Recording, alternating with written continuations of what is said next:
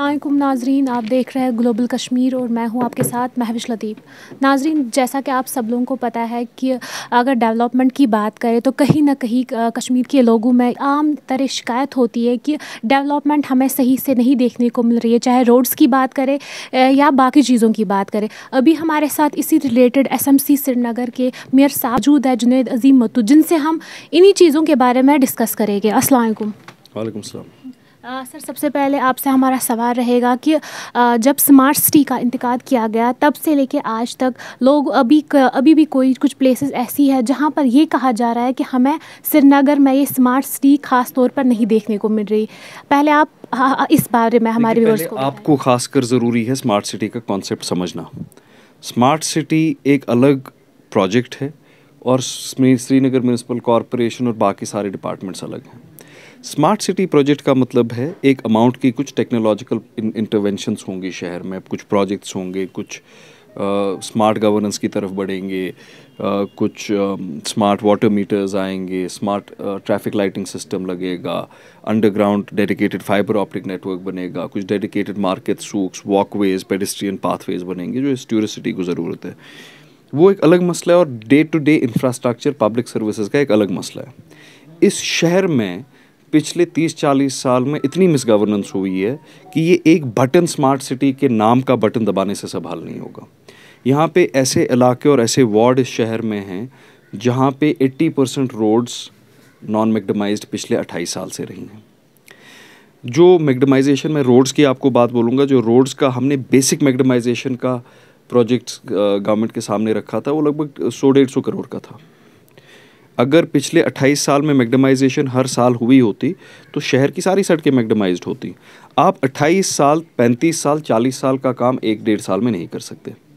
उसमें फिर मुझे लगता है आपको स्टेट का सारा बजट उसमें वक्फ करना होगा, लेकिन उसके बावजूद एसएमसी हो, सिटी रोड्स डिवीज़न हो, आरएनबी हो, जो इस साल मैगडमाइजेशन हुई है, वो पिछले हर एक साल से ज़्यादा हुई है और पूरे शहर में हुई है। ये बिल्कुल एक गलत इल्ज़ाम है, कहीं पर हुई है, कहीं पर नहीं हुई है। बाकी जहाँ नहीं हुई, वहाँ इन ताला अप्रैल में होगी। हमने ये कहा है कि by by June July August most of the city will be उनकी सड़कें बिल्कुल ठीक होंगी। Uh, लेकिन ये सही बात है कि एक बहुत बड़ा एडमिनिस्ट्रेटिव डेफिसिट है। Uh, वो पिछले तीस चालीस सालों का रिवायती एक डेफिसिट है। जब सिर्फ़ यही काम होते थे जो एमएलए सिर्फ़ जून में येलो कलर की टाइल्स लगाते थे फुटपाथ पे और फिर उसी फुटपाथ पे अगस्त में रेड कलर की टाइल्स लगाते थे। इसके अलावा उनकी गवर्नेंस का कोई बैरोमीटर था नहीं।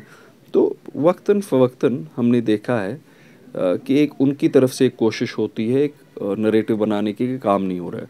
अगर आप बुनियादी फैक्ट्स को देखें, जितना काम एम ने पिछले तीस साल में नहीं किया है, पिछले चार साल में श्रीनगर में उतना काम हुआ है।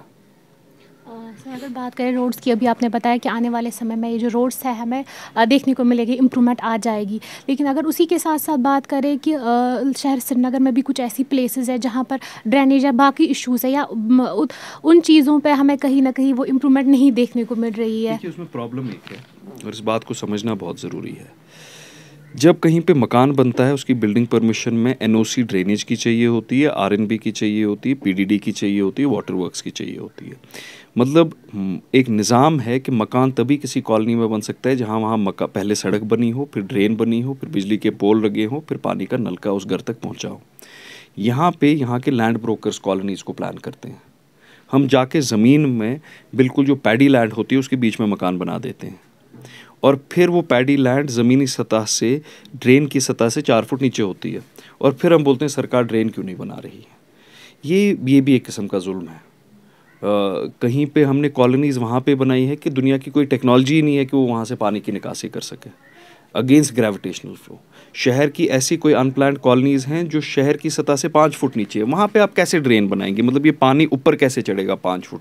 ऐसा तो कोई साइंस है नहीं। फिर हम बनाते हैं डिवाटरिंग स्टेशंस डिवाटरिंग स्टेशंस पे इतना खर्चा होता है। एक डिवाटरिंग स्टेशन पंद्रह बीस करोड़ रुपए का बनता है। और बने शहर में 122 डिवाटरिंग स्टेशंस बने J T F R P पे। बट एक अनप्लान्ड अर्बन ग्रोथ हुई और जब जहाँ पे अनप्लान्ड ग्रोथ होती है अनप्लान्ड ग्रोथ का मतलब क्या होता है? कि एक लैंड ब्रोकर कहीं पे कॉलोनी बना देता है। वो ये नहीं सोचता है कि ये कॉलोनी ज़मीन की सतह से ऊपर है या नीचे यहाँ पे ड्रेन कामयाब होगी कि नहीं? यहाँ सड़क बनी होगी कि नहीं?